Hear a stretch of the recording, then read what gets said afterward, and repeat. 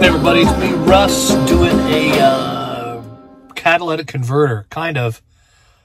It's not really, it's a diesel. It's a Duratorq 3.2 liter diesel transit van, and it needs a, a catalytic particle filtration unit. I don't remember the technical term, but here's some tips on uh, how you do it. First of all, you're going to need a lift for this operation, this job. I don't see how you can do it without a lift.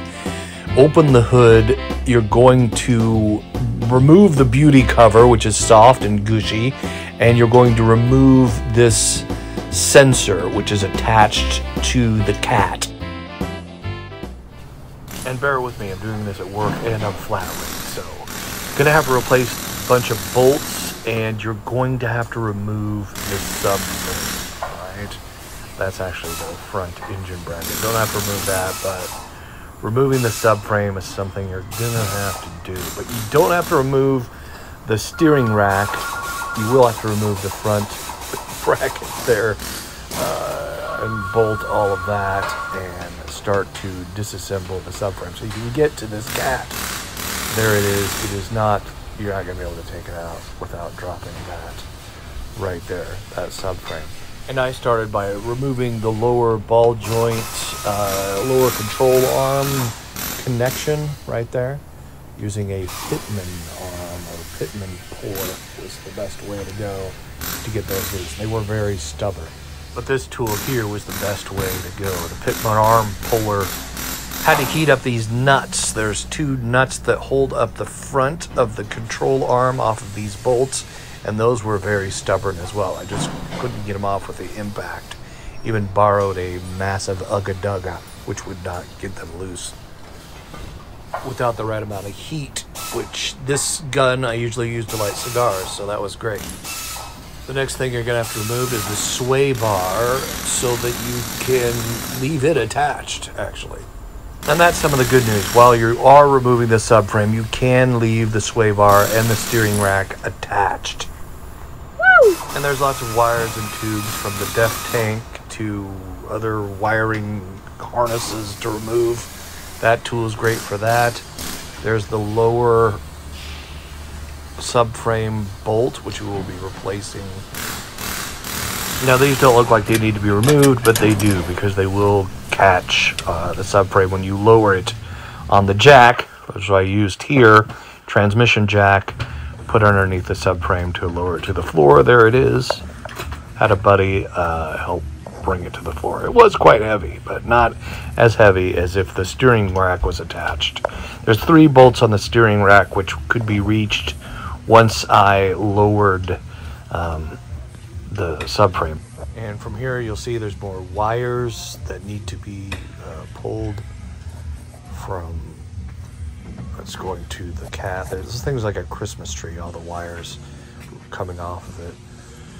There was even a sensor right in the back, uh, downstream sensor, right to where I needed to unbolt it. Just about. There's a pigtail there where it comes out of, so you can get it out of the way. That's the lower glow plug uh, right there on the exhaust. Part of the DEF tank uh, injects oxygen to make the air cleaner. Um, this thing's attached on the top right on the turbocharger. So the turbocharger is right there, and that's where there's another sensor there that's kind of in the way, but I brought it down with that one attached. Uh, but those bolts were quite a challenge to reach and unbolt. But after a lot of finagling, body twisting, and swear words, I did finally get those bolts, uh, nuts actually off. And they had to be replaced with these out of the bag.